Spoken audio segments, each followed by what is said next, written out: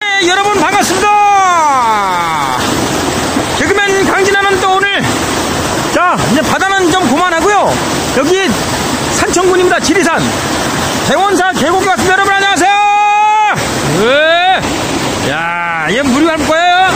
아, 야, 이 경기 공기가 너무 좋아. 아, 한참 들어왔습니다. 차 끌고 깊숙이. 아, 야, 죽인다 그냥. 이야, 자, 일곱습니다 여러분들. 공기 많고 너무 좋은 이곳 지리산입니다, 여러분 안녕하세요. 자, 이 강진아가 오늘 뭐 이제 마지막으로 길을 받고 우리 팬 여러분과 아, 시청자 여러분께 아, 새해 복을 좀 많이 주려고 이렇게 여기까지 달려왔습니다, 여러분들. 예, 여러분. 새해 복 많이 받을 겁니다. 제가요, 밀어드리겠습니다. 팍팍. 걱정하지 마시고, 하시인을 잘 되길 기원하겠습니다, 여러분.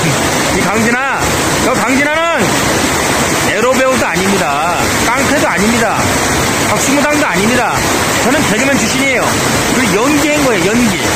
웃기려고. 그런 거니까 하나님 마음으로, 부처님 마음으로, 너그러운 마음으로 넓게 좀 이해 좀 해주시고, 네, 귀엽게 봐주시고 좀, 예, 사랑해 주시기 바라겠습니다. 여러분. 강진아 이뻐요?